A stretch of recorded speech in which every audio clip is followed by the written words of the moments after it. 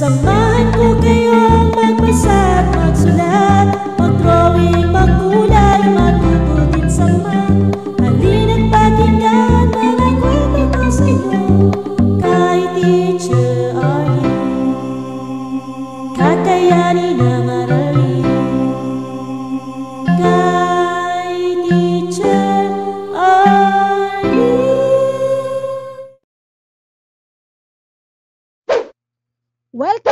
Araling Panlipunan Isa. Ang ating aralin ay Pangarap ko, ipagmamalaki ko.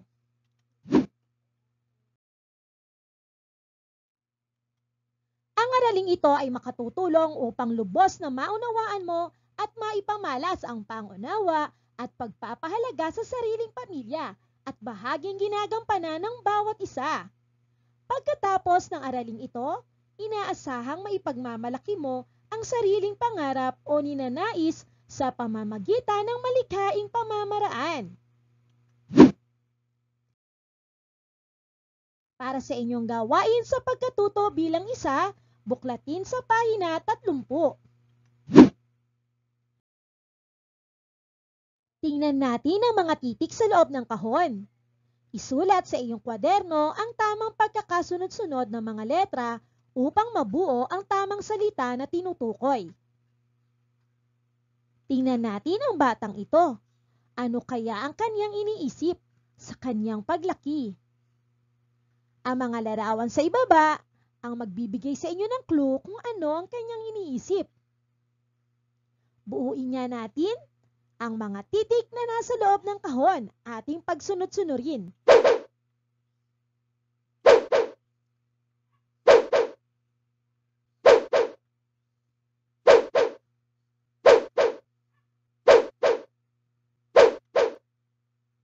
Magaling! Anong salita ang ating nabuo? Tumpak! Pangarap! Ang pangarap ay ang kanyang ninanais na maging trabaho sa kanyang paglaki.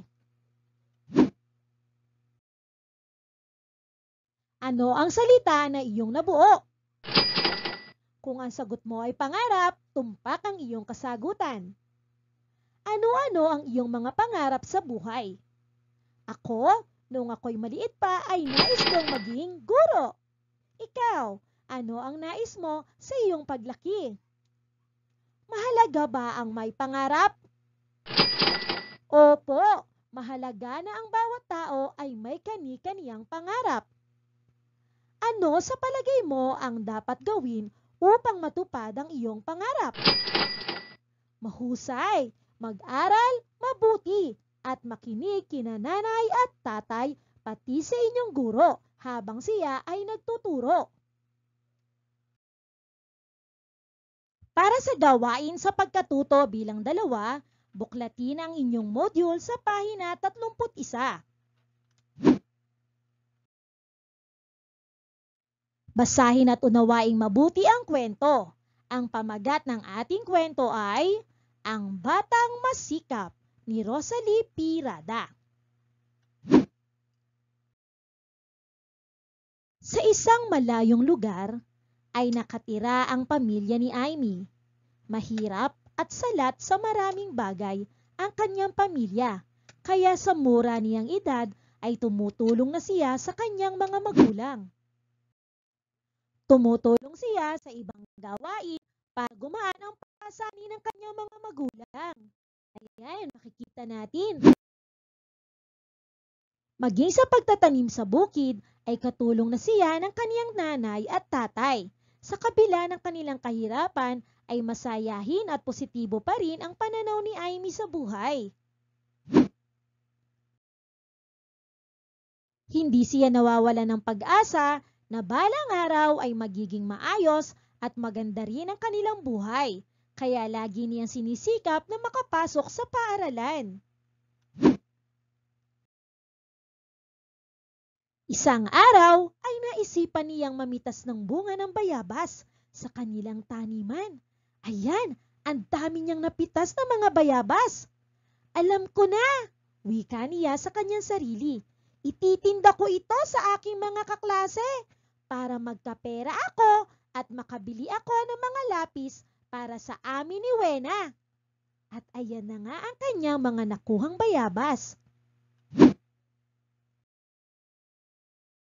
Pagdating ng recess, ipinakita niya ang dalang mga bayabas sa kanyang mga kaibigan at inialok ang mga ito. Classmate, classmate, bili ka na ng bayabas oh. Agad naman itong binili ng kanya mga kaibigan at mga kaklase, kaya naubos agad ito. Tuwang-tuwa si Amy dahil makakabili na siya ng lapis para sa kanilang magkapatid na hindi na kailangang humingi ng pera sa kanilang mga magulang. Masayang masaya naman ang mga magulang ni Amy dahil kahit sa murang edad niya ay nakakagawa na siya ng paraan para makuha ang kaniyang gusto at kailangan. Para sa inyong gawain sa pagkatuto bilang tatlo, buklatin ang inyong module sa pahina 32.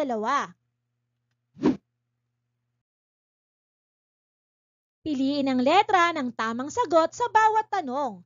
Isulat ang sagot sa inyong kwaderno. Sino ang pangunahing tauhan sa kwento? A. Si Ara B. Si Amy C. Si Ami Kung ang sagot mo ay si Amy, tama ang inyong kasagutan.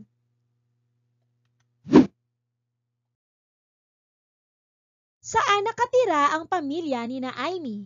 A. Sa isang syudad B. Naninirahan sa ibang bansa C. Nakatira sila sa malayong lugar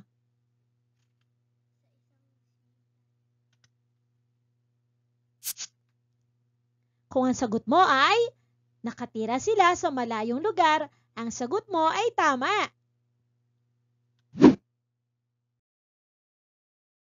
Anong uri ng buhay ang mayroon sila? A. Sagana B. Mahirap C. Tama lang Kung ang sagot mo ay mahirap, tama ang iyong sagot. Ano ang naisipang gawin ni Amy upang makabili siya ng lapis para sa kanilang magkapatid? A. Mamitas ng bunga ng bayabas at ibenta. B. Kumuha ng bunga ng santol at ipamigay. C. Mamitas ng bunga ng papaya at itinda sa bayan. Kung ang sagot mo ay A. Mamitas ng bunga ng bayabas at ibenta, tama ang iyong kasagutan. Sino-sino ang bumili ng bayabas kay Amy? A. Mga kalaro niya. B. Ang kaniyang mga kapitbahay. C. Mga kaklase at kaibigan. Kung ang sagot mo ay mga kaklase at kaibigan, tama ang iyong sagot. Para sa inyong gawain sa pagkatuto bilang apat, buklatin sa pahina 32.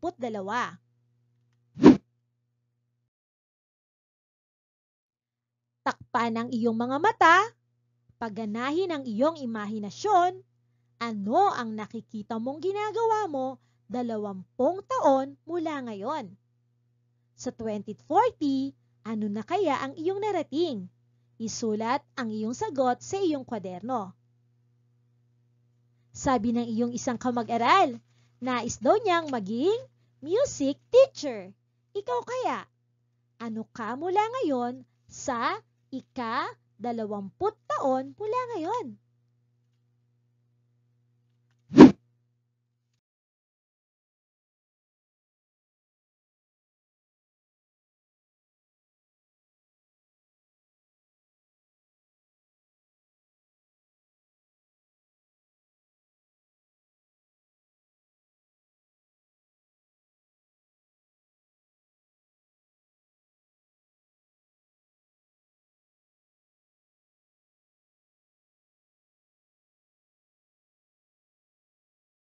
Gumawa ng isang malaking bituin sa iyong sagutang papel.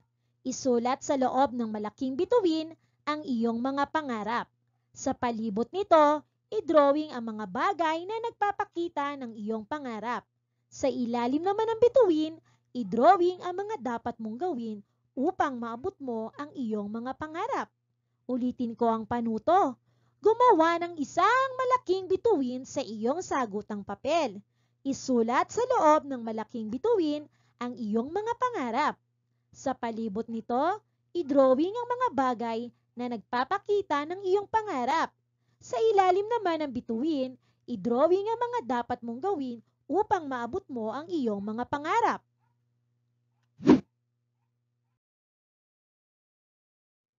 Handa ka na bang ibigay ang iyong kasagutan? Ito ay mula sa iyong kamag-aral. Gumuhit siya ng malaking bituin. Nais daw niyang maging isang music teacher at doktor. Ikaw, ano ang nais mo sa iyong paglaki? Sabi niya, lagi siyang nag ensayo upang humusay at gumaling sa pag-awit. Nag-aaral siyang mabuti, nakikinig sa guro at sa kanyang mga magulang upang maabot niya ang kanyang mga pangarap. Ikaw, ano ang iyong pangarap? At ano-ano ang mga paraan upang maabot mo ang mga ito?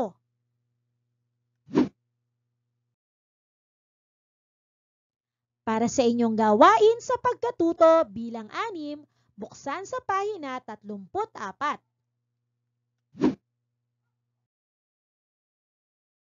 Pag-aralan ang bawat larawan. Suriin ang may wastong pagbabahagi ng pangarap at talento. Isulat ang letra ng napili mong sagot sa iyong sagutang papel. Sino-sino kaya ang mga bata na nagpapakita ng tamang pagbabahagi o wastong pagpapakita ng kanyang pangarap at talento? A. Pag-iensayo sa pagsayaw. B. Pagsali sa mga palarong basketball. Dahil mahusay siyang mag-basketball. C. Pagsali sa mga patimpalak ng pag-awit. D. Pagsusulat kung saan-saan o vandalism. Ano-ano ang mga titik na iyong napili? Tingnan natin kung wasto ang iyong sagot. A. Pagpapakita ng iyong talento at husay at galing sa pagsayaw at pag-iensayo. Tama. B. Pagsali sa mga palaro kung ikaw ay mahusay sa larong ito tulad ng basketball. At C. Pag-iensayo at pagpapakita ng iyong talento sa pag-awit. Ang D ay hindi kasali dahil ito ay vandalism. Bawal ang pagpipinta at pagsusulat kung saan saan. Huwag nating gagawin ito mga bata ha. Para sa inyong gawain sa pagkatuto bilang pito, buklatin sa pahina 34.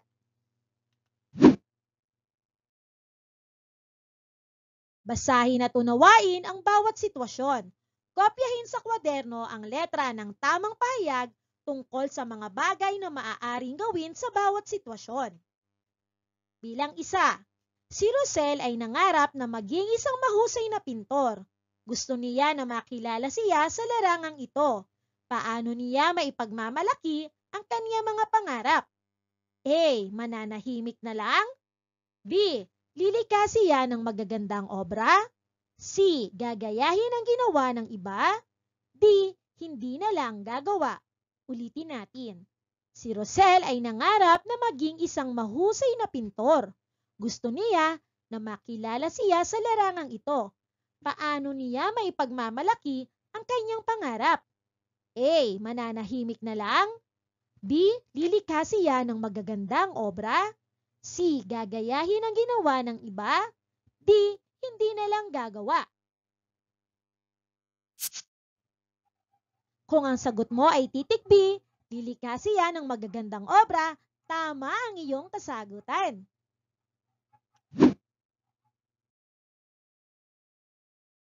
Si Isay ay isa sa mahusay na mag-drawing sa kanilang klase. Paano niya ito maibabahagi sa kanyang kaklase? A. Tumigil na lang sa pag-aaral. B. Sumama sa mga kaibigan sa labas. C. Maghanap agad ng trabaho kahit hindi nakapag-aral. D. Tumulong sa kamag-aral na nangangailangan ng tulong.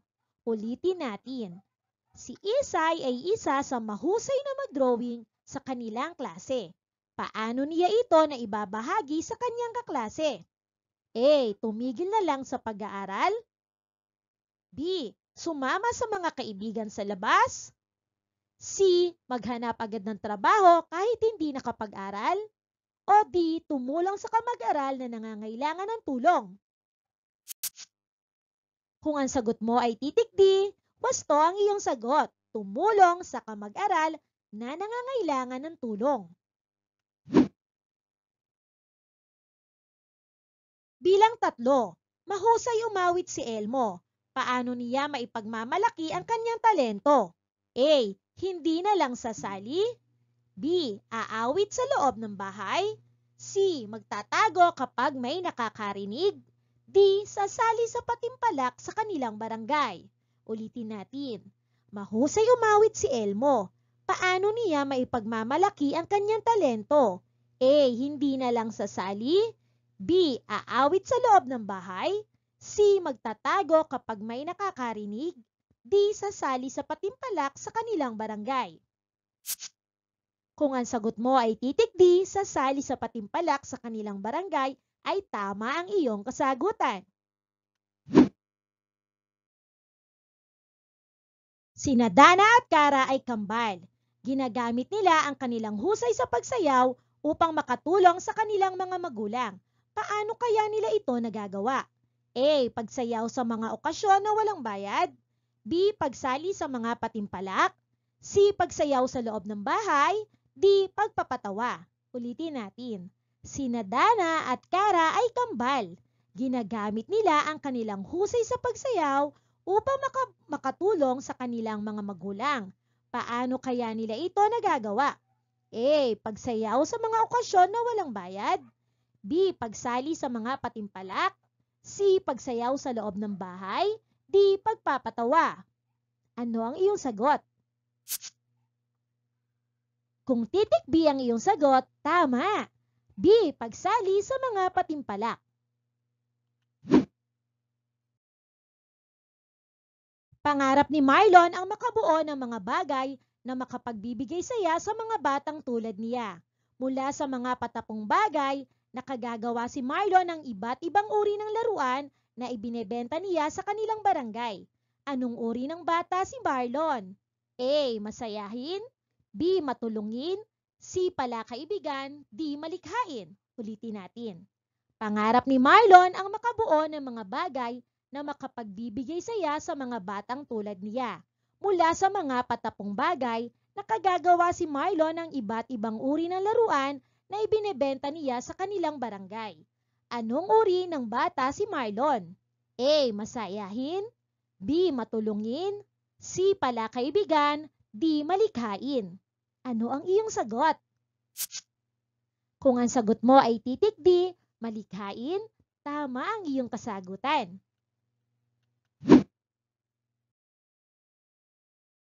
Binabati kita dahil natapos mo na ang aralin para sa linggong ito. Kung hindi mo patapos ang pagsasagot ng iyong module, maaari mong balikan ang video na ito upang maging gabay mo sa pagtatapos ng iyong mga gawain sa pagkatuto. Sana ibigyan mo naman ito ng like, pakishare na rin at subscribe para sa marami pang videos. Paalam hanggang sa muli!